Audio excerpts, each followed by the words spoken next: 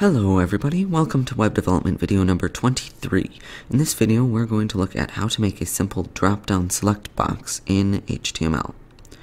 The code challenge for this video is to put this login form that we've been making into a table, and just this first part. But put it in a table so that it looks nice. Alright, now onto select boxes. We wrap select boxes in the select tag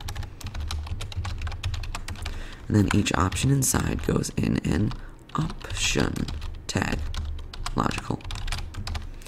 Now, let's say we're making a sandwich shop online or something like that. So I could say ham and paste down a couple of these. So two, three, four, five, six, seven, eight, nine. Ham, cheese, bacon, lettuce, peppers, pickles, and tomato. And then a couple more meats. So I'll say chicken and, whoops, turkey. Cool. So now if we save and refresh, we get this nice drop down menu box here and we can select different options that we want on our sandwich. Cool. Now, in the last video, I mentioned the name attribute. If you want to add a name to your select box, you just add it up here on the name tag. And I'm going to say sandwich select. That's the name. And that doesn't affect, affect behavior at all.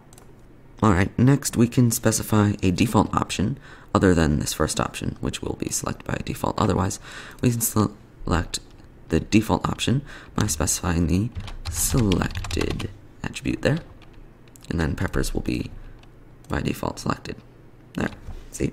Okay, the last thing we're going to learn in this video is the multiple attribute, which we add to the select box. Multiple. This allows us to select more than one option at a time. Because of course if you have cheese on your sandwich you're probably going to want lettuce and maybe something else like ham or tomato. But you can select all of those at a time. But we have so many different toppings here it's almost a little bit hard to scroll through this and tell what options there are. So let's make the box a little bit bigger by changing the size attribute. I'm going to set this to 6. It should make it big enough. We refresh. Now it is 6 options that we can see at once. And that makes it easy to tell how many options there are. And if we have this multiple attribute here, we can select multiple different options to be selected by default. So let's make the ultimate sandwich with these five options save and refresh. Now all of those are selected by default. Cool. There you go everybody, that's a quick overview of select boxes in HTML. I hope you learned something from this tutorial. Don't forget to subscribe. I'm Jacob, and have a good one.